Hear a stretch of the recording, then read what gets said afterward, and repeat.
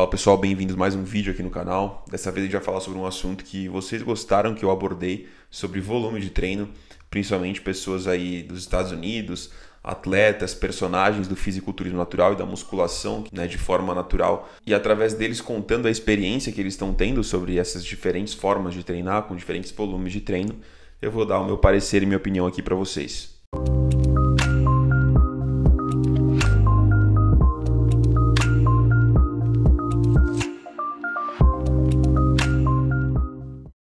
e para isso eu me deparei com um vídeo muito interessante do Eric Helms e o Jeff Alberts, que para quem não sabe, são dois personagens muito fortes e já há muitos anos eh, na musculação de forma natural, são atletas de fisiculturismo natural. O Jeff é um dos pioneiros, ele é conhecido como o pai do fisiculturismo natural moderno ali por muitos, e o Eric Helms além de atleta e preparador, ele também é um pesquisador, né? Então ele é PhD aí justamente na área do treinamento e da musculação, com diversos estudos publicados e dois livros que são dos mais famosos sobre treinamento e nutrição, que é a Pirâmide do Treinamento e a Pirâmide da Nutrição, feita com ele e alguns outros é, escritores que também colaboraram na produção do livro. Então são duas pessoas que têm que assim, eu gosto bastante do conteúdo que transmitem, tem um embasamento muito forte, um conhecimento muito amplo aí na área. Então vamos ver o que eles têm para falar.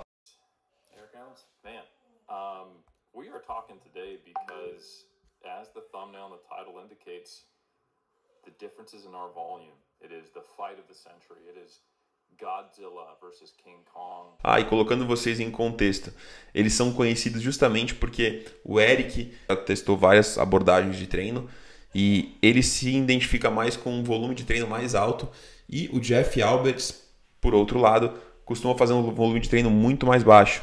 E ambos fazem parte do mesmo time, ou seja, vai ser legal trazer esse contraponto e mostrar para vocês a ideia por trás de tudo isso. Well, you know, one thing that is the same about us is we both get the same comment in a slightly different form as the most common comment on our current YouTube vlogs. The most common one I get What do you get? People are confused why you're doing so little volume, and they're confused why I'm doing so much volume.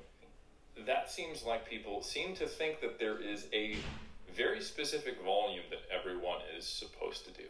Jeff, you've been coaching for over a decade now. Do you give all of your clients the same amount of volume? No, it's very rare I give someone the same amount of volume that I'm doing. And honestly, it's the same for me. Uh, I don't necessarily want to be doing this high volume. I have been experimenting with high volume for about 13 years now. But when I program, I start with what kind of volume you're currently doing, and then I try to assess whether or not they're currently making progress, plateaued, or if they are somewhere in between. And then is there efficiency that I can improve first before we start to turn over the rock of potentially doing more volume if they are plateaued. So it always ends up being individual. And I have also found that it's the very rare client that is doing as much volume as I am. You do a lot of volume. I mean, I do. I... É, então ele falou que, que né, nenhum dos dois Primeiro, que eu sempre falo para vocês, né, que a mim, vocês me mandam muito essa mesma pergunta: qual que é o volume de treino ideal? Não existe o volume de treino ideal e não existe um número fixo ideal e não existe um número que vai ser fixo para sempre, que vai funcionar para sempre esse mesmo número e que você vai usar ele para sempre esse mesmo número para X grupo muscular. Tá? Para quem não está familiarizado, volume de treino a gente mensura, a forma mais corriqueira de você mensurar o volume de treino e mais precisa é através da quantidade de séries que você faz por semana para tal grupo muscular. É assim que a gente considera aquele volume de treino para aquele grupo muscular especificamente. E eles falaram né, que eles, quando pautam é, planejamento, quando eles fazem um planejamento para os clientes deles, dificilmente eles usam, por exemplo, o mesmo volume de treino, ainda mais o volume de treino que eles usam. Né? Então o Jeff ali um volume baixo e o Eric um volume mais alto. I don't think I have too many people doing your amount of volume either. It's like it's usually in that middle area. but I'd say we're both in different directions, uh, a couple standard deviations from the norm at least, which makes the disparity between us seem huge. So, Jeff, how much volume are you doing per week on average for most of your muscle groups? Six to eight sets. Olha que legal. A gente tem aqui acesso ao volume de treino do Jeff Alberts, exatamente para cada grupo muscular. Então, olha aqui, ele faz seis séries para peito, seis séries para deltoides, né, mais seis indiretos. O que, que seria indireto? Por exemplo, movimentos de empurrar para peitoral. Ele considera ali, por exemplo, o volume de treino também para deltoides. Ou às vezes até em certas remadas ele pode considerar também tanto para o deltoide lateral, medial, como para o deltoide posterior. Então, indireta seria quando você não está especificamente querendo treinar esse grupo muscular, mas ele está trabalhando de forma ali conjunta. É, nove séries para costas, e aí ele deve englobar né, vários grupos musculares ali das costas. Três séries para tríceps, mais seis indiretas. Seis séries para bíceps, seis séries para quadríceps, seis séries para posteriores de coxa, seis séries para glúteos, seis séries para panturrilhas e três séries para eretores da espinha. I think I think back is probably like the most fun I got going right now, and it's nine sets. That's the high volume body part. Costas é o que ele mais faz com nove séries. work, three sets. I mean, if we, Yep. if we count indirect, then we're kind of up to like nine sets. Add like six sets of pressing plus the three direct sets of tricep press downs. Because actually, that's the way they count volume in the research, which I think some people miss, is that they count all indirect and direct work together. So you don't have any. É, Ele disse aqui, o Eric, que normalmente na, nos estudos é assim que é contabilizado o volume de treino, dessa forma indireta, que a gente chama ali no Brasil, a gente fala muito sobre volume residual, né? Aquele volume residual para bíceps, entra na- nas suas puxadas, por exemplo, nas suas remadas com flexão de cotovelo. Né? Você poderia considerar, por exemplo, meia série para bíceps, meia série para é, para tríceps, no movimento ali de empurrar, por exemplo. muscle groups right now, even counting indirect work that is double digits. That's that's interesting because uh, I do a little bit more than that. So my volume right now is a, Your volume in one day is my entire week. for certain muscle groups it is. For certain muscle groups it is. Other ones, I'm only doing nine sets of calves per week, Jeff. Tá, então vamos lá. Volume do Eric Helms. Peitoral 26 séries por semana, costas 28, é, ombros de 13, 13 a 26, acho que ele vai explicar. É, quadríceps e posterior 16 séries, ele colocou junto ali, então pode ser que seja 8 para cada, ou ele dá prioridade para um ou outro, um pouco mais em quadríceps, por exemplo, ou um pouco mais em posterior. É, média ali de 8 para cada. Glúteo 20 séries. Bíceps é, com já o residual indireto 36 séries, tríceps 45 séries e 9 séries para panturrilha. Aqui, pessoal, a única coisa que me assusta é realmente o volume de bíceps e tríceps, tá? O restante é um volume alto, é um volume alto, mas ainda assim muito abaixo do que a gente vê nas academias do Brasil, né? Do que a gente vê a maioria das pessoas que não tem nem perto de um potencial para treinar com esse volume de treino alto, fazendo esse volume exacerbado como se isso fosse trazer, mais resultado. Extrapolando né, estudos falando que quanto mais volume, mais hipertrofia. E isso é uma mentira com uma casa, como vocês puderam ver, inclusive no vídeo que eu reagi anteriormente, eu falo bastante sobre isso.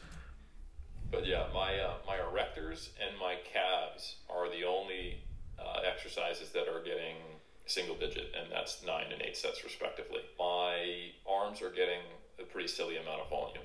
And also, here's another way. Like I do, because I have so much work I have to get through. I do a fair amount of drop sets, and I do a fair amount of rest pause. So if we count rest pause and drop sets on a one-to-one basis, and also if we count long head work I get from like pullover type movements, I have 45 sets of triceps and 36 sets of biceps in a week. Yeah, it takes me So- takes me six weeks to get to that, Like I said, I'd love to be you. and I'd hate É, e você vê, o Eric fala, né, que ele, ele não é que ele gostaria de treinar com esse volume, vamos ver o que ele vai falar a respeito, também tô curioso, por que, que será que ele faz esse volume tão alto para braço?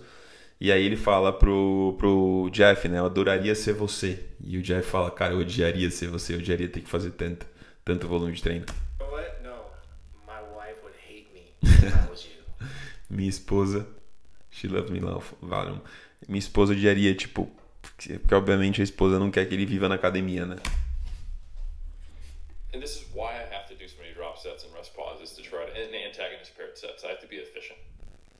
É, e o Eric ele fala que para otimizar esse treino, já que ele está trabalhando com um volume alto, ele usa técnicas que são técnicas volumizadoras, como né, ele falou. It drop sets, drop set seria volumizador, o rest pause não, mas para poder reduzir, né, compactar esse volume de treino em menos tempo. It is, and it's not something that I've just done arbitrarily or that I like. I'm a busy guy, you know. It's not something that I would prefer to do.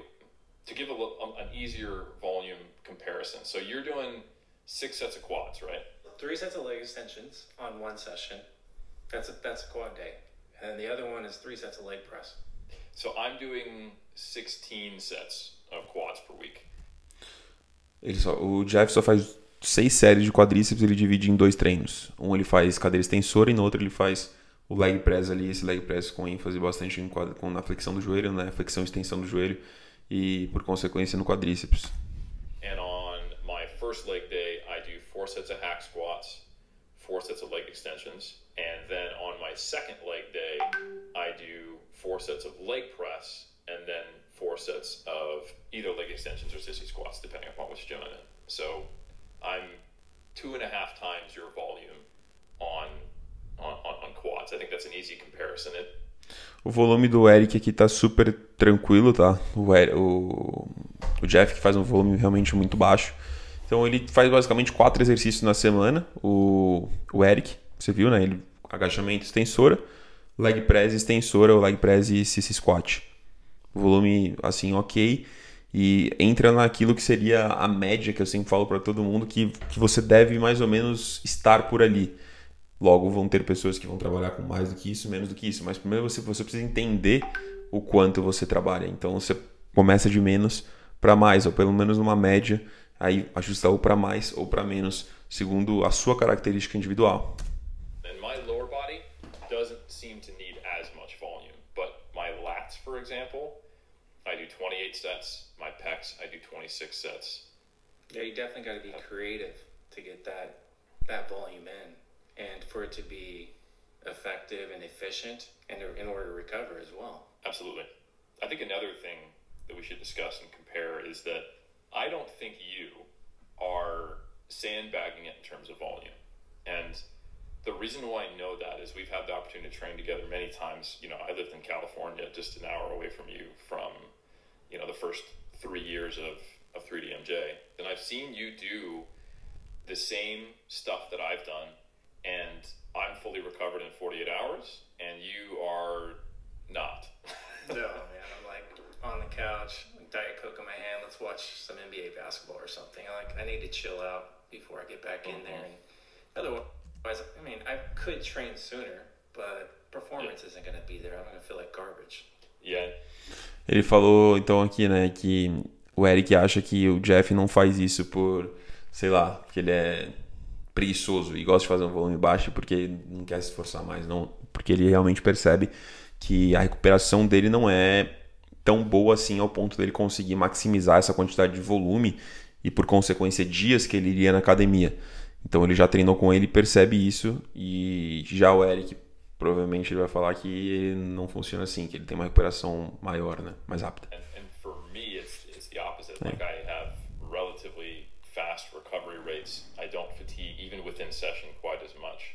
So in my mind as a coach, I think the same way you do, and I've been heavily influenced by your philosophy of supply and demand. The, the first question is, can I recover from the amount I'm currently doing? Because if I can't, then it doesn't matter if I could theoretically benefit from it because I can't do it. You were before we started recording. You were talking about how you did some lat pull downs, and how are you feeling afterwards? And tell me that that story. I did one top set, four reps, 195 pounds, and I still had three or four in the tank. But it was a, a load that I haven't touched in a long while, so it was it was hard. Mm-hmm. And I've got a good pump just from those four reps. But literally after doing two more back off sets, and that was the only exercise I did that day the next morning I was like just physically tired and my back was like not sore but I could tell that it was it was fatigued. So it doesn't take a lot of sets to like wreck me but at the same time it's like you said like I'm training with plenty of intention behind it. Like yeah. every single rep I do there's like 100% effort into it. Yeah that's that interessante isso que ele falou né? Mas nesse ponto eu tenho algo a, a falar. E vocês sabem que eu sou um cara que eu enfim, não defendo o volume alto, mas também não defendo essa ideia absurda de achar que o volume baixo é, nossa, revolucionária, a melhor coisa do mundo.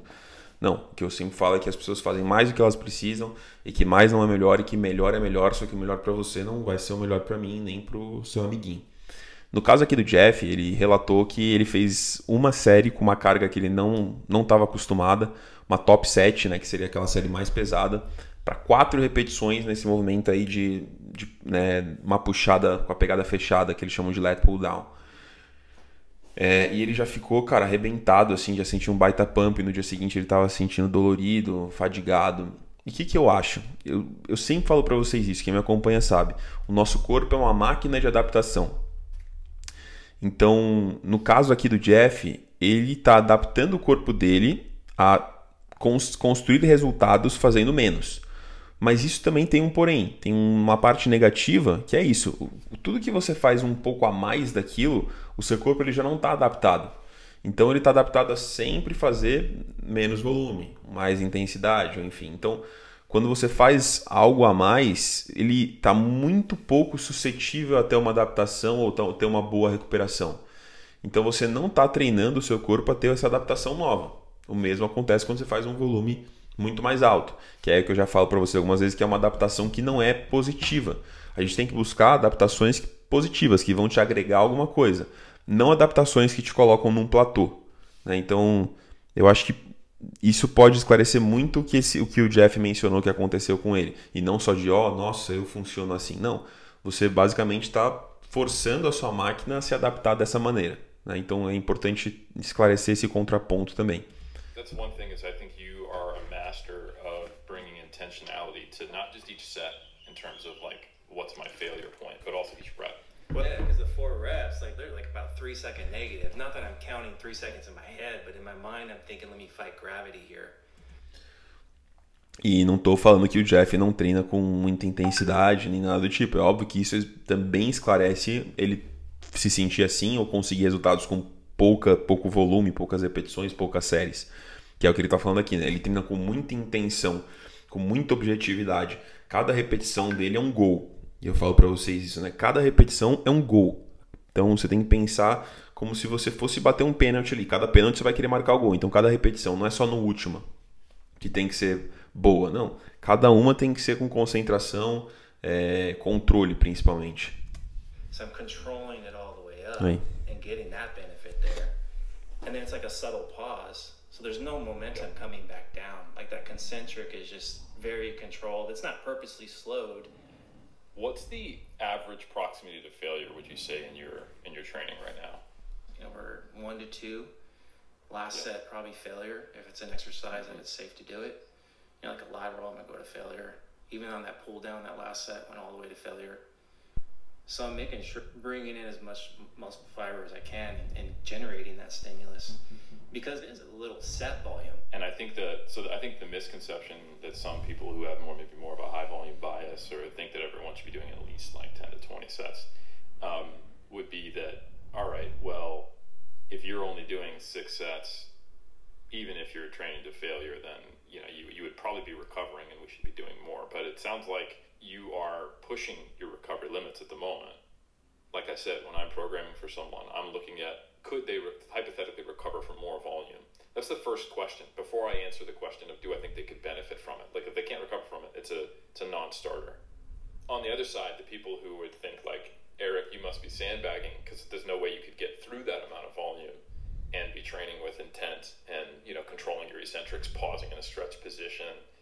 God, man, I wish that was the case. But I am also pushing probably an average of a one RIR and nine RPE in my training, every single one of my exercises in my program, the first set starts at either a 8, 9, or a 10 RPE. And the ones that start at an 8 are like my compound lower body exercises. Those start at an 8, and then by the last set, they get up to a 9 RPE. And... É, eles estão falando que ambos treinam com proximidade da falha, que é algo muito importante para você ter bons resultados, como vocês que me acompanham aqui já sabem e que nenhum nem outro está né, fazendo menos do que poderia ou fazendo só essa quantidade porque está treinando com pouca intensidade. Não, eles estão falando que ambos É, o Jeff falou que ele faz de uma a duas séries ali até a falha, a última série provavelmente até a falha. E o Eric também falou que ele treina com RPE, né? 8, 9 ou 10. E o RPE, vou deixar aqui a tabelinha para vocês verem, né? Ele está relacionado ali com a tabela RIR, que seria as repetições na reserva, que é o que a gente consegue ver a proximidade da falha. Então, por exemplo, um RPE que vai de 0 a 10, um RPE 10, né, que seria o máximo ali de esforço, ele está relacionado proporcionalmente, é, proporcionalmente a um RIR 0, ou seja, nenhuma repetição na reserva, ou seja, ele não conseguiria fazer mais nenhuma repetição quando esse RPE é 10. Aí quando é 9 seria uma na reserva e assim sucessivamente.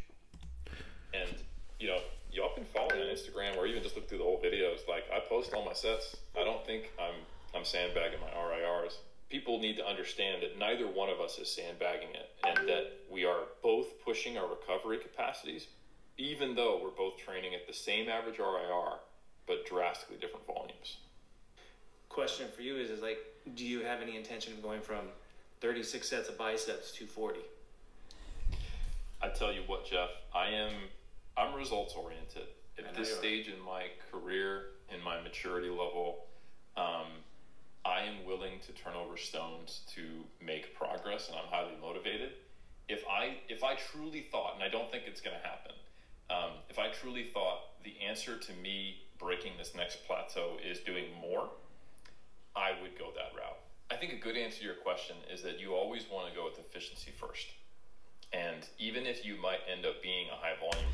Só vou pausar aqui para muito legal que ele falou aqui, né, pessoal, sobre que eu falo quando esses caras eles não são é, subjetivos. Então, o Eric, o Jeff perguntou: você pensaria em você tem em planos em mudar de, de 35 para 40 séries de bíceps? E aí o Eric respondeu: cara, eu trabalho com resultados. Então não é só tipo, ah, vou fazer isso ou aquilo porque, sei lá, eu tô afim. Não, é.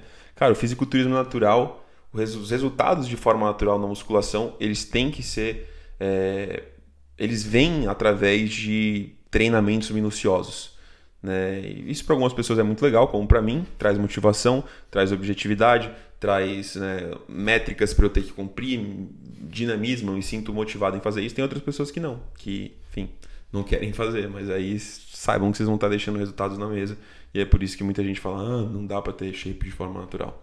Responder, you want to make sure that all the work you're doing is as efficient as possible, so that you only need to do a certain So it makes a lot of sense to me to work on efficiency, work on proximity to failure, focus on intensity, intentionality, and high quality movements. Perform well and good exercise selection before you start to turn the volume dial up.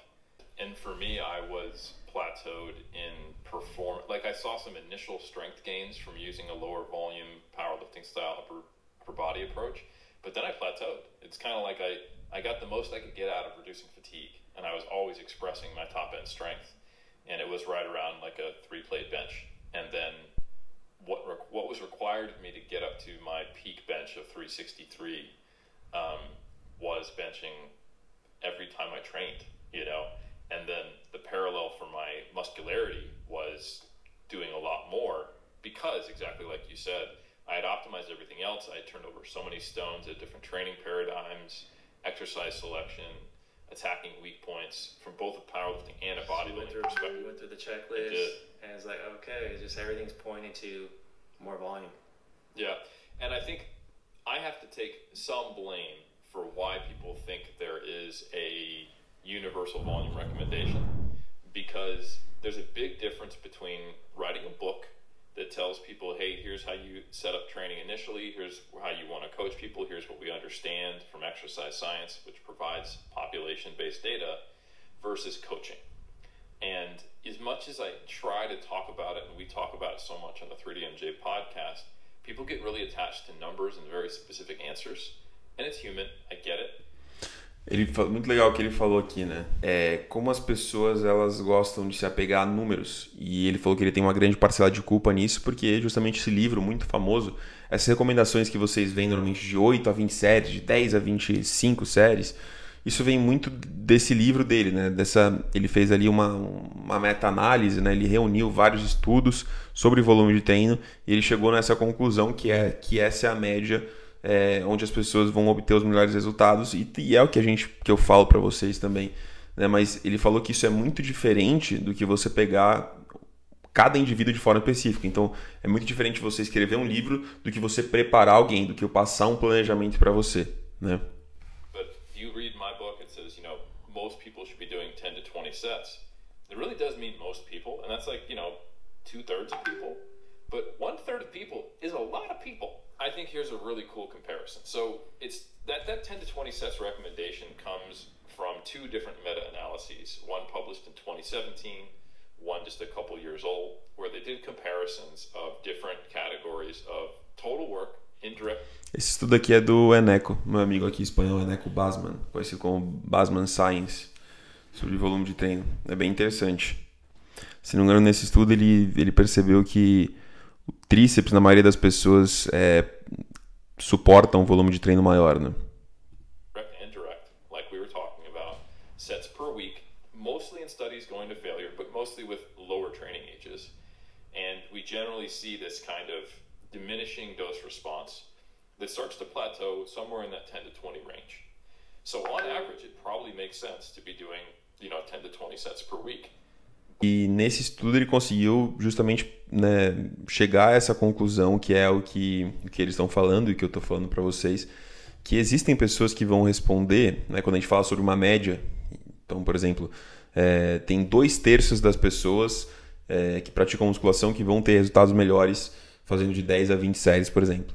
E tem um terço que vai fazer vai ter resultados melhores fazendo muito mais do que isso, né? Ou mais do que isso, e gente que vai ter menos do que isso. E esse um terço é, representa muitas pessoas, né? Então, muitas pessoas não se encontram nessa média, porque umas estão muito para cima, outras muito para baixo, e é por isso que a média existe, né? We have good evidence these averages are not everyone because they're an average. You're not an average from a studies. You are an individual data point, and that's what coaching is. And I think that's probably the key thing that's missing in all these comments that we both get. Here's a question for you. Can I train myself to be where you're at? I know my answer. I've already experimented with done that, but this is a question I'm sure people are gonna be asking. Well, I- if I'm hey, if I'm doing eight sets now, I might get even better results if I do 24 sets. So É o que eu falei, o que eu tava falando, né? Não- obviamente não, não extrapolando esse ponto que eu falei para vocês de eu achar que o Jeff, ele treinou o corpo dele, o corpo dele está adaptado a esse tipo de treino, então obviamente quando ele foge desse tipo de treino, ainda mais num primeiro momento, ele sente muito, e ele já fala, bom, é, eu não nasci para isso. I Ele perguntou pro Eric isso, né? Se ele acha que ele poderia treinar para chegar no volume de treino que o Eric faz hoje.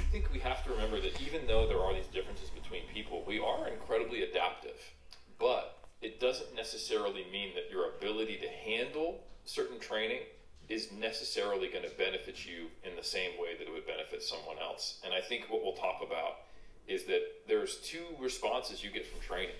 There's fitness and fatigue. And some people are, are hyper responders to both. They train a little bit, they get a lot of fatigue and a lot of stimulus. That might be your Jeffs. Some people, they get a lot of stimulus and not a lot of fatigue. That might be like your, your Doug Miller, right? Muito interessante isso que ele está falando. Esse Doug Miller aqui, ele é, é natural, por incrível que pareça, ou pelo menos sempre competiu no fisiculturismo natural. Não lembro dele ter competido na WNBF, mas isso é um assunto para outro vídeo. De qualquer forma, ele está falando que justamente uma pessoa como essa, natural, que tem esse tipo de desenvolvimento, é bem provável que ao treinar ela tem um grande estímulo e a fadiga de- dela não, não se eleve a ponto de prejudicar, né? Então esse cara tem uma facilidade enorme para treinar e se recuperar, treinar e se recuperar. E aí ela, ele entra naquela, naquela espiral positiva de supercompensação, que é o que vai te trazer resultado, que eu já falei algumas vezes aqui, e consegue esse nível de desenvolvimento que a maioria das pessoas não vão conseguir, ainda mais treinando com essa quantidade de trabalho que, que normalmente essas pessoas que são geneticamente abençoadas treinam. We've seen the stuff he's done 30 set reps on deadlifts every week to failure. Many people would not be able to physically get through that training, let alone respond to it or not have subsequent fatigue the next week. Some unfortunate souls are just low responders, and it sort of doesn't matter how much fatigue they're getting because they're just not getting a lot out of it. I do think, like, if you were like, listen, I want to become an endurance athlete, you would be able to uh, handle it. You'd be pretty good, but I think you would also respond differently É, acho que o que ele quis falar nessa última ele acabou não deixando claro, não consigo concluir em raciocínio dele, e eu me identifico muito com isso, quando você começa uma linha de raciocínio e não termina, mas para explicar para vocês o que ele quis dizer é isso, né? Que existem pessoas, a gente tem aqui estímulo e fadiga, né? Então resultado e, enfim, cansaço, recuperação. Tem pessoas que ao treinar elevam de forma simultânea as duas, né? Então ele tem estímulo e tem né, precisa dessa recuperação desse estímulo tão elevada quanto. Existem pessoas que têm muito estímulo e a recuperação não é não precisa ser tanto, então esse cara vai ter mais resultado. E existem pessoas que elevam, têm muita fadiga e não conseguem elevar tanto assim o estímulo. Então essa pessoa se treina, é, se cansa treinando, é, enfim, fadiga muito elevada, porém não tem um estímulo suficiente. Então, é o que a gente chama desses low, é, low responders, né? Pessoas que não respondem tão bem ao treinamento de musculação. So, you combine that with the fact that you're also 13 years older than me, 13 years older than you used to be, uh -huh. that you're close to your genetic ceiling, so you're probably closer than I am. And you think about your training background, my training background, and also the life demands that we both have. I think when you combine those physiological factors with the context and where you are on your journey, you get a different calibration of both sure. what's the appropriate response you should get for fatigue and stimulus. So, so the answer is I think you could get to the point where you could handle a lot more volume. I don't think you'd benefit from it.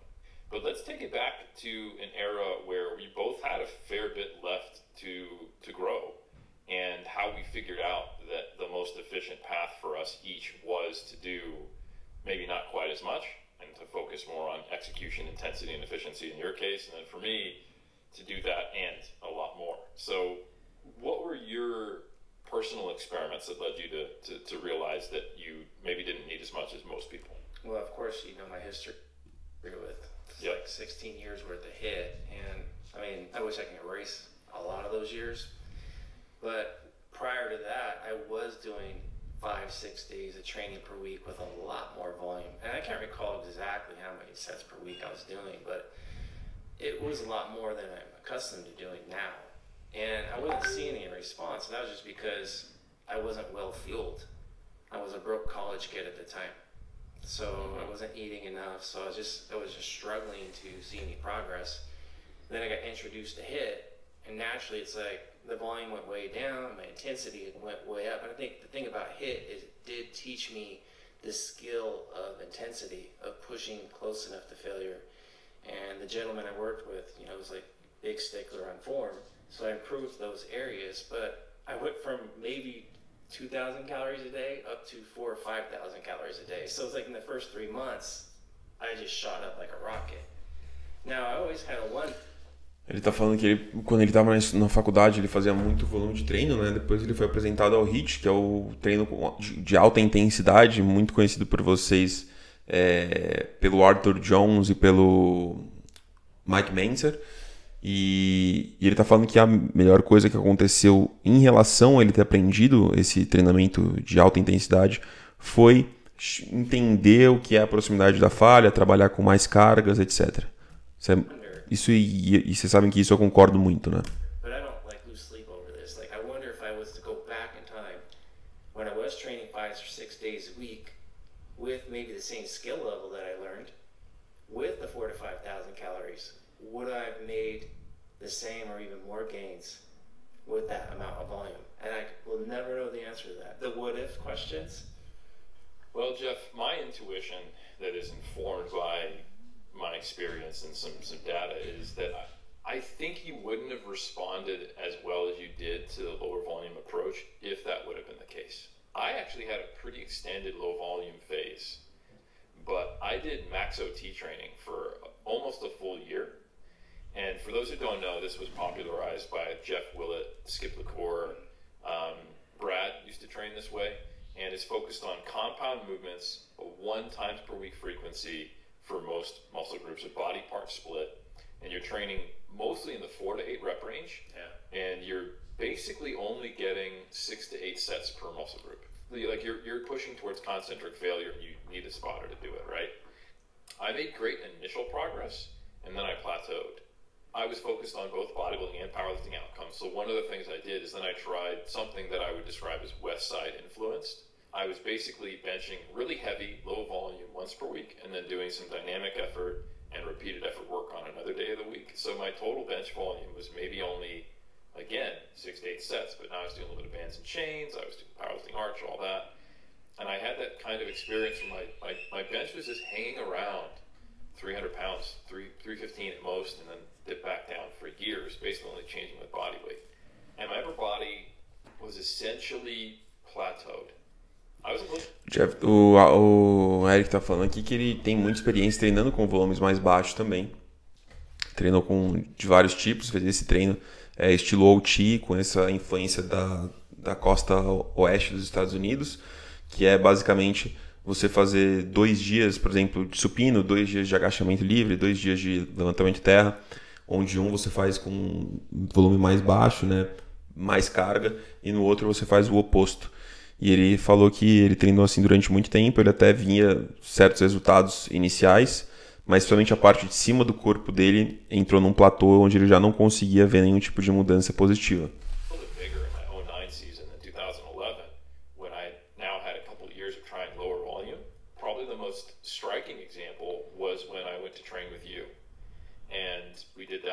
off season prior to my 2011 season. And this is where I noticed two things that my upper body responds differently than my lower body, and that I respond differently to training than you. Because I remember that my shoulder press, my dumbbell shoulder press, had peaked prior to that point with slightly higher volume than we were training with you and I together only three days per week.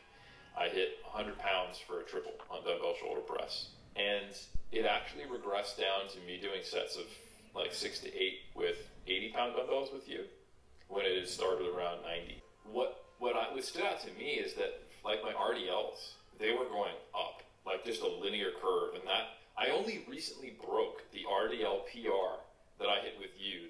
You owe me a bar because you broke the bar. I forgot about that. Yeah. That's how intense it was, folks. I broke Jeff's bar, but my leg my leg progress was continuing on the same trajectory as it had been, and my 2011 stage pictures it was when I really was like, man, I'm so unbalanced. My upper body is small, my lower body is big. Your upper body was visibly smaller. Yeah. My 2011 season was probably my least successful in terms of did my physique improve from 09. And the difference was is that I had been doing low volume West Side, max OT, and then training with HIT. So I gave it a really good effort. Good try. Size. Yeah. When I finished that that 2000 11th season, and I was starting to then add food back in.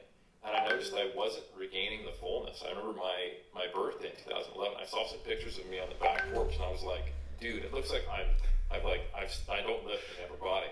And I went... É, então, você tá vendo, o Eric, ele tá falando aqui, o relatando, né, que, cara, ele colocou um esforço em treinar com um volume um pouco mais baixo, mas para ele, principalmente os musculares ali da parte de cima do, do, do corpo, ele sentiu que ele não não estava tendo um bom progresso, né? Não estava vendo resultados. You know what? I need to try something else because I've, I've done everything. Like Jeff has, has taught me how to really take it to the house, keep momentum under control, use really good technique. I've experimented with different paradigms of training, periodization systems that don't change volume, but I was working with all different kinds of approaches for both powerlifting and bodybuilding, and it just wasn't happening. I'd been in a surplus, in a deficit, wasn't happening. I'd been as heavy as 220 pounds and I'd been as light as 175 on stage. So I started doing 5 by 10 shoulder press, chest press, row, lat pull down three days per week. So 30 sets of pressing, 30 sets of pulling. And I blew up. It was the closest thing that I'd had at that point, seven years into training, that I had as a newbie. And I got back up to my uh, biggest my upper body had been in 2009, and then I surpassed it and people really started to notice. It was at that point where I was like, okay, I clearly need to be doing more upper body work. And then I, my bench plateaued a little bit higher in like the 330 range, 340. And then I went, well, you know what? Let's push it even further. And I started benching five to six days per week, heavy. And that was when I hit a peak bench of 363 it, it was that was the confirmation I needed. I was like, shit, like I'm if I'm recovering, I seem to benefit from more volume, at least in the upper body. E aí você vai me perguntar, cara, Jaime, como isso pode ser? Porque vocês viram, né, que ele falou que não é só que ele aumentou o volume, é que ele aumentou o volume e as marcas iam melhorando, ele se recuperava, é, ele via resultado. Então essa é a diferença. É aí que você encontra a sua individualidade. Ele vinha fazendo menos e não estava tendo bons resultados, não estava né, conseguindo colher o que ele estava buscando. E aí ele foi aumentando e percebeu que o corpo dele estava respondendo melhor. Então essa é a individualidade genética, é aí que entra esse fator. Né?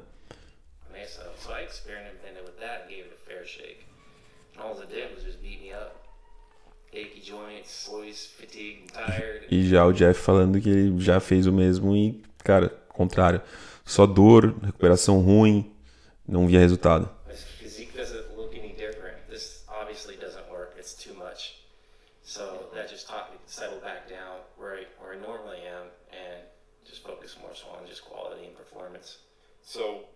We've learned over time what works best for us. And the good news, dear listener, is that you don't have to sign up for a within subject design study at your local university, and you don't have to spend eight years before I really noticed this consistent pattern.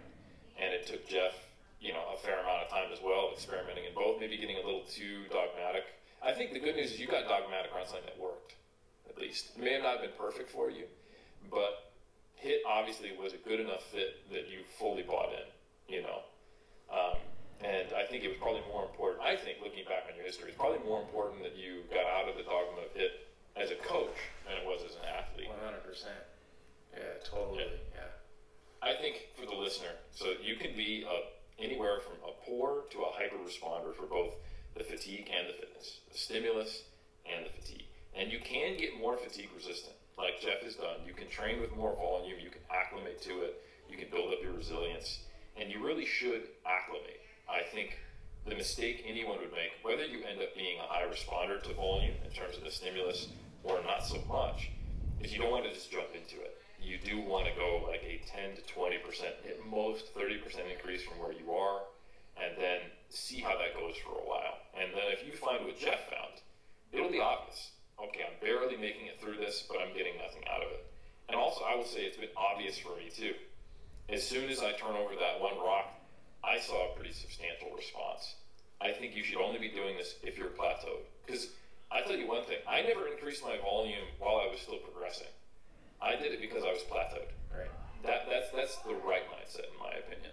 Not hoping the grass is greener, not being insecure, not being uh, impatient, and not trying to fast track something when you haven't developed the other skills. I don't think you need to take eight years to do it. but I do think that you want to see multiple experiments of say like three to six months. Bom, pessoal, acho que o Eric Helms definiu, né, esclareceu exatamente o que eu penso aqui nesse final desse vídeo. Para você que ficou aqui tendo uma esperança de entender qual é o volume que funciona melhor para você. Caso você seja um iniciante que está começando agora, minha recomendação é comece de menos para mais. Observa se você consegue progredir, se você consegue se recuperar, se na frente do espelho você vê resultado. Caso você não seja um iniciante ainda assim não sabe se esse volume tá, é ideal para você ou não, veja quanto você está fazendo, importantíssimo, contabilize o quanto você está fazendo. Observe, primeiro, sua recuperação está boa. Se você sente que não está boa, diminui. Se você sente que sua recuperação está boa, ah, mas você não anota as suas cargas, passe a anotar as suas cargas. Se você vê que você não consegue progredir cargas, diminui um pouco esse volume. Se você vê que a sua recuperação é boa e você progride carga, mas você não está vendo resultado nenhum, tente aumentar um pouco esse volume, tá? Mas sempre controlando e vendo aí é, como você responde a isso. É sempre através do resultado que é feito ajustes, beleza? A minha preparação agora, para quem não sabe, eu, eu vou competir agora esse ano como profissional da WBF, minha primeira preparação como profissional. E eu venho fazendo um volume de treino nessa fase eu normalmente periodizo meu treinamento, né? Onde tem fase onde eu, eu trabalho com um volume um pouco maior, tem fase onde eu trabalho com um volume um pouco menor. Nessa preparação aqui, agora faltam 3, 4 meses, eu vou trabalhar com um volume de treino um pouco maior até eu perceber que minha recuperação é boa. Por enquanto eu estou me recuperando bem, meu volume está um pouco maior do que era antes. E, e por enquanto está dando tudo ok. Mas se eu perceber, por exemplo, que minha recuperação não vai, minha recuperação não flui, meu progresso não flui, é bem provável que eu diminua isso, tá? Então, de qualquer forma, toda a minha preparação, meu diário de preparação vai estar na Escola dos Naturais. Caso você não saiba, é a minha escola, é minha plataforma de ensino. Vou deixar o link aqui embaixo. Lá a gente vai publicando esse diário até a, até a data da competição. Vou relatar tudo. Espero que você tenha curtido esse vídeo. Deixa seu like, compartilha aí, bom, faz um comentário para ajudar a esse canal crescer e eu continuar postando esse tipo de conteúdo para vocês. Tamo junto e até o próximo.